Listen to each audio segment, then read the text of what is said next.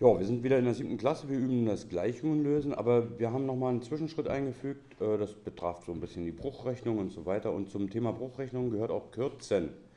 Ähm, folgendes Beispiel, nehmen wir mal an, es steht äh, ein ziemlich großer Bruch da, und zwar 25 mal 26 mal 27 mal 28 mal 29 und das Ganze durch 58 mal äh, 13 mal 81 mal 75 mal, was weiß ich, 112 oder irgend sowas. Dann kann man natürlich folgendes machen, man kann sagen, naja, dann muss ich erstmal oben ausrechnen, dann muss ich unten ausrechnen und dann muss ich mal sehen, ob ich kürzen kann, vielleicht kriege ich ja was draus. Wenn ich einen Taschenrechner habe, ist es leicht, wenn ich ihn nicht habe, äh, dann wird es richtig kompliziert. Erinnern wir uns nochmal, wenn ich zum Beispiel sage, ähm, ich rufe einen Pizzaservice an und bestelle mir eine Pizza XXL und da kommt der Pizzamensch und bringt mir eine Pizza und die ist im Durchmesser, ach du liebe Zeit, das schaffe ich ja nicht mal mit drei, vier Mann.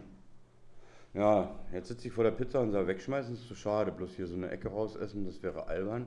Ich mache es anders. Ich rufe einen Freund an und sage, du kommst mit Pizza essen, meine Pizza ist viel zu groß. Ja, gerne, ich komme. Dann nehme ich ein Messer und schneide schon mal durch und lasse aber die Pizza so liegen. Rein mathematisch hieß das, eine Pizza, kann ich auch sagen, habe ich jetzt in zwei Hälften geteilt. Zwei halbe geteilt. Zwei Hälften, zwei Zweite kann man auch sagen. Jetzt kommt der Freund und sagt, bist du verrückt, das schaffen wir beide nie. Äh, komm, ich rufe mal noch zwei Kumpels an. Jawohl, gut.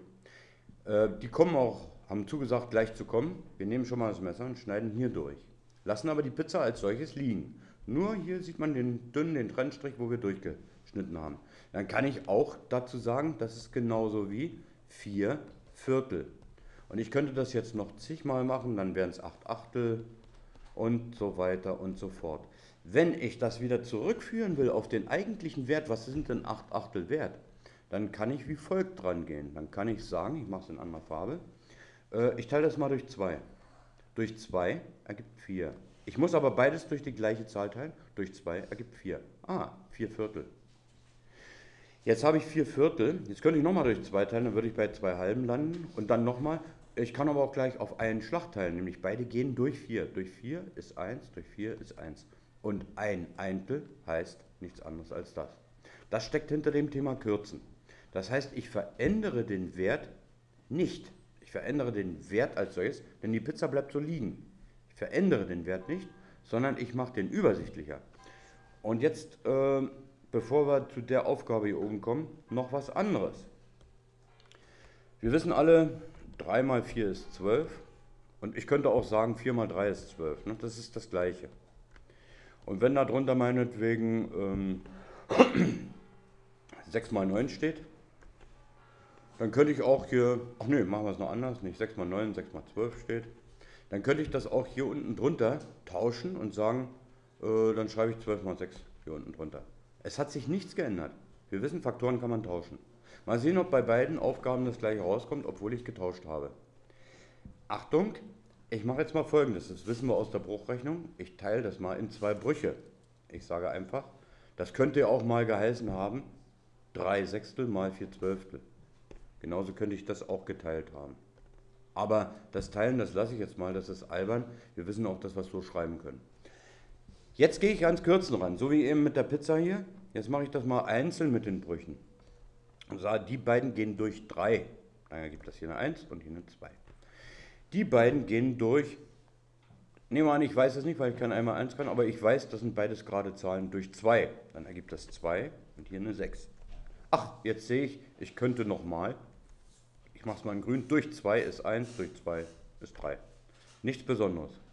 Jetzt gucke ich und sage, äh, Brüche multipliziert man, indem man sagt Zähler mal Zähler, also hier oben Zähler mal Zähler, hier oben steht der Zähler, unten steht der Name, der Nenner. 1 mal 1 ist 1, okay. Und 2 mal 3 ist 6. Mal sehen, ob das hier auch klappt. Und jetzt werde ich mal ein bisschen wild durch die Gegend kürzen. Da ich ja weiß, dass ich hier oben oder hier unten vertauschen kann, ist es ja auch erlaubt, durchaus mal, warte mal, damit man es besser sieht, von hier nach hier zu kürzen. Natürlich könnte ich die 3 und die 6 mir schnappen, aber ich darf auch, denn ich könnte ja die 12 da hinschreiben, die 6 darüber. Ich kann auch sozusagen über Kreuz kürzen. Ich darf bloß nicht hier, also hier unten oder hier oben alleine äh, waagerecht kürzen, das geht nicht. Aber das wissen wir. Gut, fangen wir mal an. Ich kürze mal hier, ich nehme den 3 und die 12 vor, beide durch 3 ist 1, durch 3 ist 4. Und jetzt, statt über Kreuz weiterzumachen, sage ich mir, nee, ich kürze mal die 4 und die 4, beide durch 4. Durch 4 ist 1, durch 4 ist 1. Und jetzt bin ich fertig, denn jetzt ist nichts mehr zu kürzen. Nochmal durch 1, das kann ich machen, aber das ist Quatsch. Ne? 1 durch 1 bleibt 1, also kann ich jetzt aufhören. Und ich sage jetzt mal sehen, was bei rauskommt. 1 mal 1 ist 1 und 1 mal 6 ist 6. Und dieses Vertauschen, dieses Überkreuzkürzen, nur nie waagerecht kürzen, das kann ich jetzt oben bei meiner Aufgabe anwenden. Denn ich könnte ja eigentlich sagen, wenn ich mir mal diese hässliche Zahl 29 ist eine Primzahl angucke und die 59, äh, die 58, dann könnte ich ja eigentlich sagen, ich schreibe mir mal die 58 hier rüber, aber ich weiß, ich kann ganz schräg kürzen, Hauptsache oben und unten. Fangen wir mal an. Ich mache es farbig, damit es auffällt, wer hier, wer, wer hier wen kürzt. Beide durch 29, das geht. Durch 29 ist 1, durch 29 ist 2. Ich schnapp mir eine andere Farbe und sage, die 25 geht durch 5, die 75 geht durch 5. Wenn ich es dann weiß, dann kann ich auch sagen, ich teile die beide durch 25. Durch 25 ist 1, durch 25 ist 3. Jetzt gucke ich, wer passt denn hier noch schön zusammen? Ach, hier die 26 durch 13. Und die 13 durch 13. Schwupp, 1, schwupp, 2. Jetzt mache ich mal einen Schlenker und sage, Moment mal, das mache ich, das Thema erlöse ich, da, da gehe ich mal gleich rein. Die 2 und die 2 teile ich beide. Durch 2 ist 1, durch 2 ist 1. Jetzt bin ich hier, guckt mal hier, das ist übrig. Das ist keine Schande, übrigens auch mal zum Schluss einzukringeln. Was bleibt denn übrig? 1 mal 1 mal 1 mal 1. Den ganzen linken Teil, den habe ich schon erledigt. Jetzt gucken wir mal weiter. 27 und 81 gehen zum Beispiel beide durch 9, aber die gehen sogar noch durch mehr, nämlich durch 27. Durch 27. Wenn ich es nicht weiß, ich kürze mich mal ran, ich zeige mal, wie das geht. 27 durch 9 ist 3, 81 durch 9 ist 9. Ach, ich kann noch mal durch 3 kürzen. Ist keine Schande, sich da ranzutasten.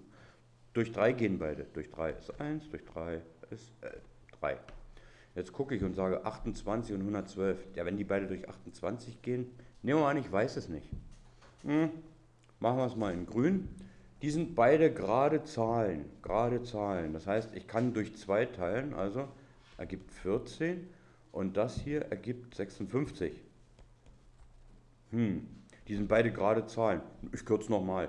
Ihr müsst nicht immer den Strich so rum machen, ihr könnt ihn auch verkehrt rum machen, damit auffällt, oder damit ihr mehr Übersicht behaltet. Ihr habt ja Tinte, ihr könnt ja nicht immer eine neue Farbe nehmen. Äh, die gehen beide durch 7. Durch 7 ist 2, durch 7 ist 8. die gehen ja beide durch 2 nochmal. Durch 2 ist 1, durch 2 ist 4. Jetzt gucke ich mal, was ist hier denn übrig. Hier ist bloß noch eine 1 übrig, hier ist eine 1 übrig, hier ist eine 1 übrig. Ich kann nicht mehr kürzen, auch wenn hier noch so schicke Zahlen stehen, die 3 und die 3, die darf ich nicht kürzen. Die 3 ist übrig, die 3 ist übrig und die 4 ist übrig. Jetzt ist vorbei. 1 mal 1 mal 1 mal 1 bleibt 1. Und jetzt kommt 1 mal 1 bleibt 1, mal 3 ist 3, mal 3 ist 9, mal 4 ist 36. Wer hätte das gedacht? Normalerweise erklärt man gar nicht so lange, wie ich das eben gemacht habe, sondern die Aufgabe ist ruckzuck und ganz schnell gelöst und man ist am Ende damit. Das zum Thema Kürzen. Wir brauchen das Kürzen, ich mache das gleich nochmal mit, mit einer Gleichung um das nochmal zu zeigen. Wenn da steht äh, 4x, ich nehme mal meine Lieblingsgleichung, nee, ich nehme eine andere, 4x plus 6 ist gleich 18. Und ich möchte die Gleichung lösen. Wir wissen ja, Klammerpunkt Strich ist die normale Rechenweise. Beim Gleichung lösen Klammerpunkt Strich rückwärts, Klaps rückwärts. Also, erster Schritt, ich kümmere mich um das, was stört. Die mal 4 stört die plus 6 stört. Das ist aber die Strichrechnung. Also plus 6, das Gegenteil ist minus 6. Dann bleibt hier 4x alleine stehen und 12, äh, 18 minus 6 ist 12. Ich teile durch 4 und jetzt mache ich mal diese berühmte Zwischenzeile, die wir sonst weglassen. Warum durch 4, werden wir gleich sehen, weil hier mal 4 steht. Ein stilles Mal ist damit vereinbart. Und jetzt sage ich durch 4. Jetzt schreibe ich mir die Gleichung nochmal ab, wenn ich mir nicht sicher bin. Und schreibe das so hin und teile jetzt hier durch 4 habe ich mir vorgenommen, durch 4, durch 4. Und jetzt kommt das Kürzen. Jetzt sehen wir das. Die 4 und die 4 sind beide durch 4 teilbar, bleibt eine 1 übrig. Nicht die Einsen weglassen, die brauchen wir manchmal. Die sind manchmal sogar bitter nötig, sonst ist alles falsch. Und die gehen beide durch 4 ist 3, durch 4 ist 1. Und jetzt schreiben wir den Mist sauber ab. Also nochmal diese Zwischenzeile, die kann man sich normalerweise schenken, weil wir dann Profi genug sind. Was bleibt hier übrig? Hier bleibt ein x übrig und hier bleibt 3 durch 1, 3 übrig. Da kommt das Kürzen dann und da ist es wichtig. Und deswegen müssen wir auch das einmal eins im Kopf können. Gibt es hier irgendwelche Fragen? So, Fragen sind beseitigt. Äh, dieses Video schließe ich ab und wir werden jetzt mal Aufgaben dieses Typs hier oben, die werden wir jetzt üben. Das heißt, der zweite Teil dieses Videos ist dann ein neues Video, aber der setzt da oben dann fort.